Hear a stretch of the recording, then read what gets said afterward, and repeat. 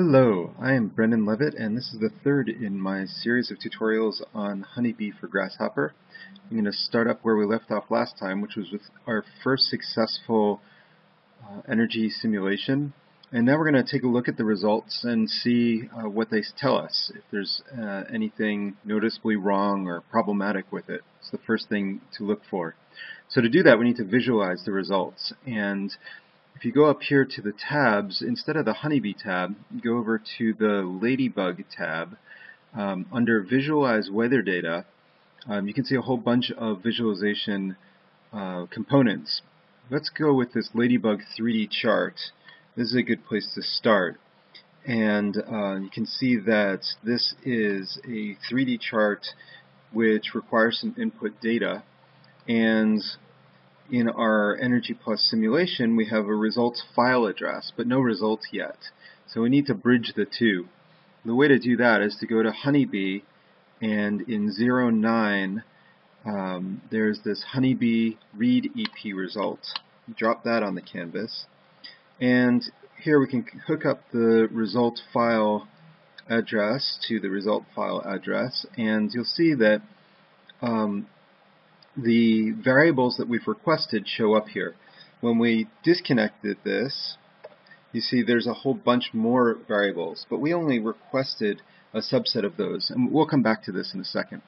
So right now we've only got a few categories that we've um, requested, and if I hook up a panel to that, you can see that we've got um, the location um, in Oakland. That's the um, weather file that we ran with uh, total thermal energy for zone 1 in kilowatt hours monthly. And um, this is just showing uh, January and February, so it's ran between January 1st and February 28th uh, from midnight to midnight. And we have two values here, 130 and 149. That, those are the two monthly totals of uh, energy use or thermal energy use. So if you hook those up to our input data for the three-dimensional graph, you'll see um, back on the Rhino canvas, I'm going to go to the top view and zoom extents here, a very underwhelming graph that shows January energy use or thermal energy use and February thermal energy use, blue and orange. And you can see that, oh, you can't see that. There we go. The, the scale here goes, uh, it automatically finds the, the extremes. So uh, that's why we only have two numbers here. So it's finding 150 and uh, minus 130. Um, and again, uh, sorry, it's not showing it minus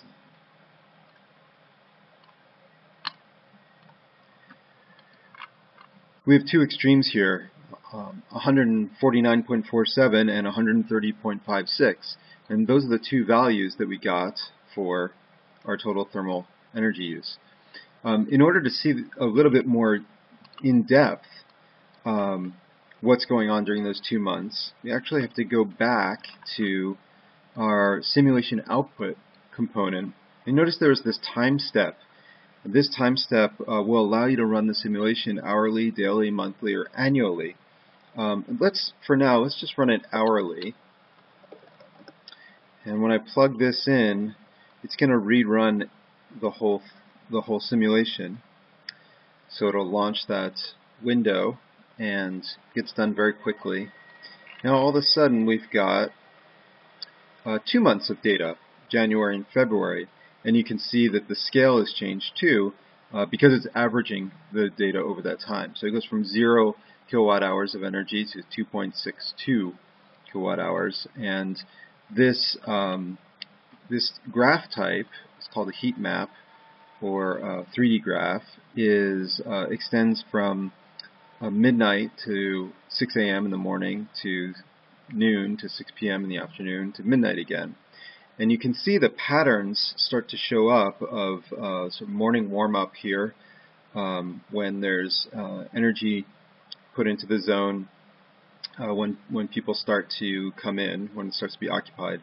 You can also see patterns here of weekends where um, the zone is not occupied on these Saturday and Sunday. So, um, so it's sort of making sense in an abstract way. Um, and you can actually input any one of these variables into this uh, scale and see it. So we can just see the cooling energy here, which looks a lot like the total thermal energy. We can just see the heating energy there, or we can just see the electrical equipment there, or sorry, that was the, the lights, not the electric equipment. Or here's the equipment here. Um, so one thing I noticed right off the bat is that the electrical equipment, actually let me copy these so you can compare the two. I put the lights on top and the um, equipment on the bottom and I can change the base point here to say 0, I'm not really sure what the scale is, let's see if this works. I'm going to plug this in. Yeah, it seems to work pretty well. So now I can compare these two, um, the lights on top and the equipment on the bottom. And you can see that they start to go on around the same time in the morning and they go off around the same time in the evening, except that the equipment appears to not actually go off. There's a small amount of equipment that's on at night and in the morning. It does look like it goes off on the weekends. So notice here that the um, energy use of the lights on top is at a different scale than the equipment on the bottom. And so this can be misleading. Uh, there is a way to um, to force the low boundaries and high boundaries of the graphs, and I'll show you that over here. If you um, you can um, bound the legend here with legend parameters. I'm going to double click, type legend parameters, and navigate to Ladybug legend parameters there. And I'm going to plug that into both legend or both graphs. And then I'm going to set a low boundary and a high boundary. So I'll use a panel here just to set a low boundary of 0 and a high boundary of 0.44.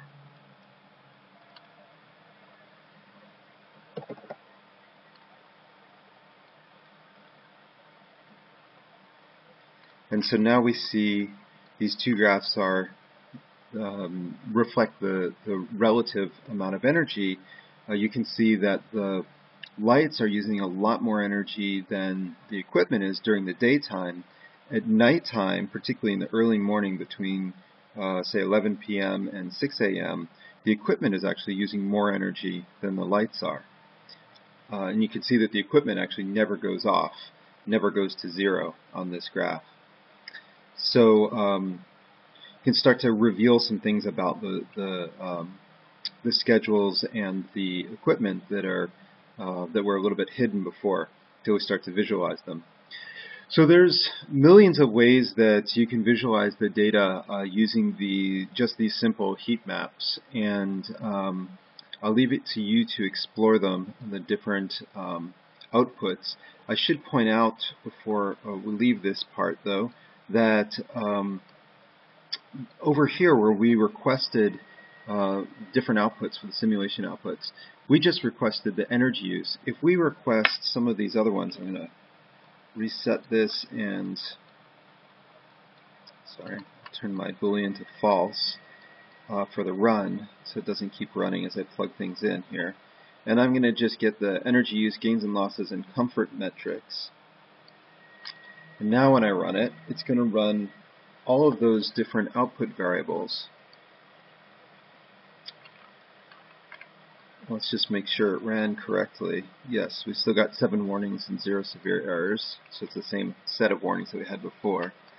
And um, now you can see it's populated with a lot more or different uh, variables. So we can now, in this case, look at the temperature inside the zone uh, so why don't I plug that in? Of course, now it's at a different scale than 0 to 0.44, so I'm going to disconnect that scale. And you can see the temperature ranges between 14.8 and 22.5 Celsius. Um, this is January and February. Um, I suspect we're using some heating energy then, though I guess this is the best way of finding out. Let's see, I'll disconnect this parameter down here and connect in heating. No, we're not. So you can see that just the heating goes on in the morning and then it must be the internal gains that are warming up the zone here uh, to the upper boundaries of uh, the actual cooling limit. Um, so one way to look at that is to compare the the gains from people and uh, solar and infiltration. So you could look at all these as heat maps um, and graph them. You could also look at them just as data, and right now they're as um, data streams of you know uh, hourly data. And so if I hook up a panel to say the cooling energy here, um, it gives me a, a header and then the hourly data for those two months. You can also get these uh, values as as a list of values and then perform uh, grasshopper functions on them. And so uh, the way to do that is to go up to the Ladybug tab and uh, pull down this uh, Ladybug separate data. Um, and this takes this input list and it basically gets rid of the that header on top. So I'll, I'll put the cooling hours into the input list, and out of this, if I open up a panel, is going to come just the list of numbers associated with it. In this case, it looks like there's a whole lot of zeros, where there's no cooling going on in the winter. Um, why don't I plug in something else like heating? Yeah, now I've got some numbers in there, and um, and so that now you can perform um, any uh, basic uh, grasshopper functions on there, like for instance summing them. And I can type in mass addition here, attach the numbers to the uh, input here, and come out with just one sum of all of the heating energy being used for these two months. Uh, then I can plug in actually all of these equipment lights, heating, and cooling. If I flatten this, I can now have a list of energy values by end use. I just need to keep track of the order in which I've plugged these in. So that's an overview of visualizing and uh, manipulating data and now um, we're going to take a step back in the next video and take a look at some of the defaults that um, Honeybee has assumed and the assumptions, the underlying assumptions, and how you can change those, customize it. So with that, I will see you on the other side.